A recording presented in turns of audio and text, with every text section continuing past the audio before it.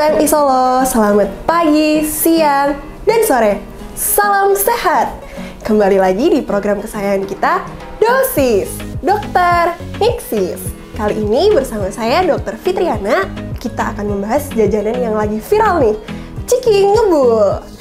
Nah, gara-gara jajanan yang viral ini, si Ciki Ngebul katanya bikin lambung bocor anak di Bekasi sehingga Kemenkes mengeluarkan surat edaran waspada terkait keracunan makanan itu loh.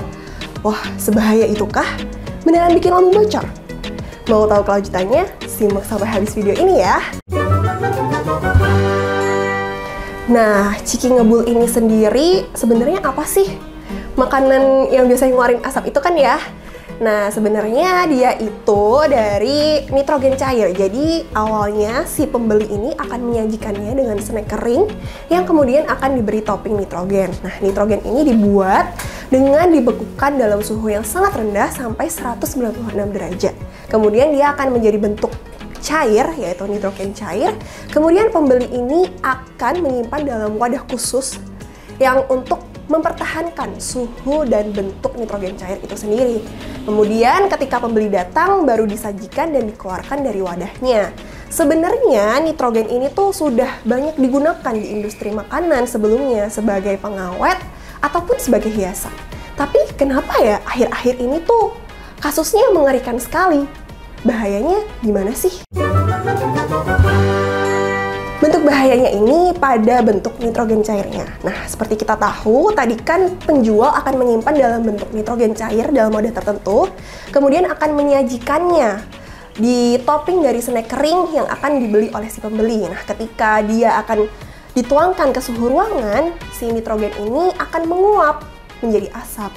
Nah, namun jika si pembeli ini terlalu cepat dalam mengkonsumsinya, takutnya masih ada nitrogen cair yang masih menempel atau tersisa di makanan tersebut. Ketika makanan dikonsumsi, jadinya akan mengenai organ-organ di tubuh pembeli itu sendiri.